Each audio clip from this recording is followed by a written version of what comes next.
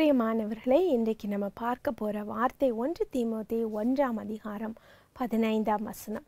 ஒன்று தீமோத்தே ஒன்று பதினைந்தில் பவுல் சொல்லும் பொழுது பாவிகளை ரட்சிக்க கிறிஸ்து இயேசு உலகத்தில் வந்தார் என்கிற வார்த்தை உண்மையும் எல்லா அங்கீகரிப்புக்கும் பாத்திரமும் ஆனது அவர்களில் பிரதான பாவி நான். இந்த வசனத்தை நம்ம பார்க்கும் பொழுது ஒரு சில காரியங்களை நான் உங்களோடு கூட பகிர்ந்து கொள்ள விரும்புகிறேன். இந்த வசனத்தில் பார்த்தீங்கன்னா பாவிகளை ரட்சிக்க கிறிஸ்து இயேசு உலகத்தில் வந்தார் என்கிற வார்த்தை உண்மையும் எல்லா அங்கீகரிப்புக்கும் பாத்திரமானது. அப்படின்னா என்ன அர்த்தம்? தட் இஸ் த ட்ரூத் அதுவே சத்தியம். நீங்கள் பாவத்தை உலகத்தில் வேறு எந்த விதத்திலும் கழுவவே முடியாது.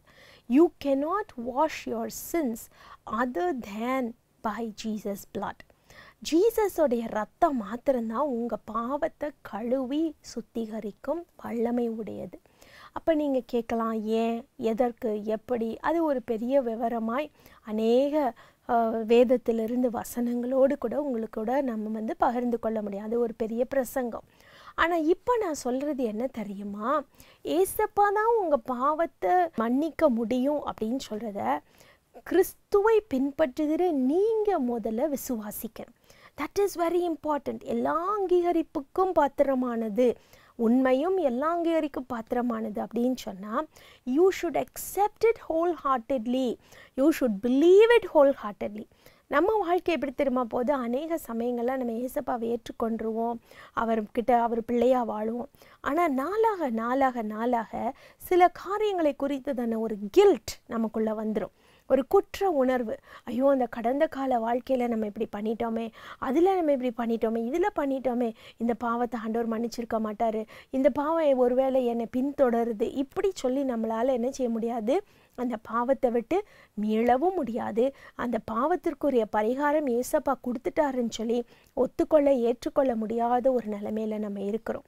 இன்னும் ஒரு சிலர் ரொம்ப முத்தி போய் ஏசப்பாவை ஏற்றுக்கொண்டதுக்கப்புறம் கூட அநேக மற்ற பிற காரியங்களை தேடி செல்கிறதை நான் பார்த்துருக்கிறேன். ஒரு சமயம் ஒரு தாய் என்னிடத்துல சொன்னார்கள் நான் நல்ல ஆலயத்திற்கு போயிட்டு இருந்தேன்ப்பா ஆனால் கடைசியில் என் மகளுடைய வாழ்க்கை வித்தியாசமாக மாறின பொழுது என் மகளுடைய வாழ்க்கையில் சமாதானம் வேண்டும் என்பதற்காக என்னுடைய சம்பந்தி இந்த இடத்துக்கு கூட்டிகிட்டு போனாங்க. என்னுடைய ஃப்ரெண்டு அந்த இடத்துக்கு கூட்டிகிட்டு போனாங்க. இதுக்கெல்லாம் நான் போயிட்டு வந்தேன் அப்படின்னு சொன்னாங்க. போயிட்டு வந்து சொன்ன காரியங்களை அதை பார்க்கும் பொழுது ஏசப்பாவை நம்புற உண்மையாக விசுவாசிக்கிற எவனும் அந்த இடத்திற்கு போயிருக்க மாட்டான். எவனும் அந்த காரியத்தை செய்ய மாட்டான். ஏன் அவங்க போனாங்க? எதற்கு போனாங்க? அவங்களுக்கு ஏசப்பா தன்னுடைய பாவத்தை மன்னித்து விட்டார். ஏசப்பா தான் ஒரே பரிகாரம் தன்னுடைய பிரச்சனைகளுக்கு என்கின்ற நம்பிக்கை இல்லாமல் போய்விட்டது. நீங்க எப்படி இருக்கீங்க? How is your belief now இன்றைக்கு ஒருவேளை நான் ரட்சிக்கப்பட்டு இத்தனை வருஷம் ஆச்சு. அதனால நான் சோர்ந்து போயிட்டேன். எனக்கு இந்த காரியம் நடக்கல அதனால சோர்ந்து போயிட்டேன். எனக்கு பிஸ்னஸ் ஓடலை அதனால நான் வாஸ்து பார்த்து இதை கட்டிட்டேன். என்னுடைய பிள்ளை படிக்கல அதனால நான் இந்த காரியத்தை மந்திரிச்சு நான் போட்டிருக்கேன். என்னுடைய குழந்தை அழுகுது அதனால நான் இதை செய்தேன். இப்படி நீங்கள் யோசிக்கிறவங்களா மறந்துடுங்க ஏசப்பா ஒருத்தர் தான் பரிகாரம். ஏசப்பா ஒருத்தர் தான் வழின்னு சொல்லி இந்த வசனத்தை நீங்கள் ஏற்றுக்கொள்ளணும் முதல்ல. உண்மையும் சகல அங்கீகரிப்புக்கும் பாத்திரமாயிருக்கிறது. இதை முதல்ல நீங்கள் ஏற்றுக்கொள்ளணும். அடுத்தது பவுல் அந்த வசனத்தில் சொல்லும் பொழுது அதில் பிரதான பாவி நான் என்று சொல்லுகிறான்.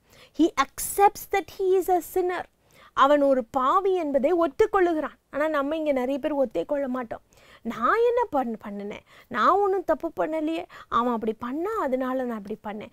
இவன் இப்படி செஞ்சான் அதனால நான் இப்படி செஞ்சேன். உண்மைத்தான் மனுஷீக பிரகாரமாக humanly speaking that is correct அது உண்மைதான். ஆனாலும் கூட ஆண்டவருடைய சமூகத்துக்கு நீங்கள் போகும்பொழுது சொல்லுங்கள் ஆண்டவரே நான் இதை சொன்னது தப்பு. நான் இதை செய்தது தப்பு. என்னை மன்னிங்க. அப்படின்னு சொல்லுங்கள் கர்த்தர் உங்கள் பாவத்தை மன்னிப்பார். இல்லைன்னா பாவம் உங்களை தொடரும். நீங்கள் நீதிமான்னு சொன்னாப்புல ஆண்டவருடைய சமூகத்தில் நம்ம நீதிமானாக மாற முடியாது. கர்த்தருடைய ரத்தம் ஏசு கிறிஸ்துவின் ரத்தம் உங்கள் பாவங்களை நீக்கி உங்களை சுத்திகரிக்க வல்லமை உள்ளது. அவர் ஒருவரே உங்கள் பாவத்திற்கு பரிகாரம் பிரியமானவர்களே. அதை முழுமையாக விசுவாசிங்க. ஒருவேளை நடுவில் வழி மறந்து வழி தெரியாமல் இங்கே அங்கேயே நீங்கள் ஓடி இருப்பீங்கன்னா திரும்பி இந்த வழிக்கு வாங்க. சத்தியத்தை பிடித்து கொள்ளுங்கள். அன்றுவரே நான் ஒரு பாவி என்று பவுளை போல தன்னை அங்கீகரித்து சொல்லுங்க. அப்பொழுது கர்த்தர் உங்களுக்கு நிச்சயமாய் ஒரு விடுதலை கட்டளையிடுவார். நம்ம ஜெபிப்போமா? அன்புள்ள இயேசப்பா பிரதான பாவி நான் என்று பவுளப்போஸ்லன் தன்னை குறித்தே சொல்லுகிறான் அப்பா. நாங்கள் எத்தனை பேர் அப்படி நான் ஒரு பாவி என்று சொல்லுவதற்கு அறிக்கையிடுவதற்கு நாங்கள் எத்தனை பேர் தயாராக இருக்கும் ஆண்டவரே? அப்படிப்பட்ட தாழ்மை உடைய பிள்ளைகளுக்கு தாங்க.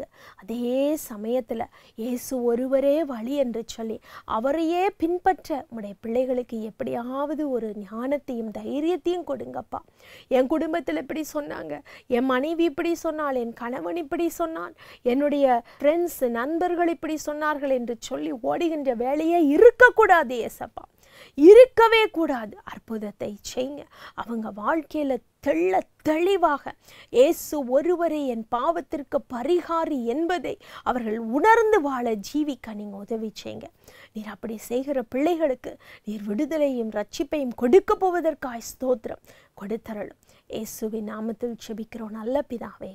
ஆமேன்.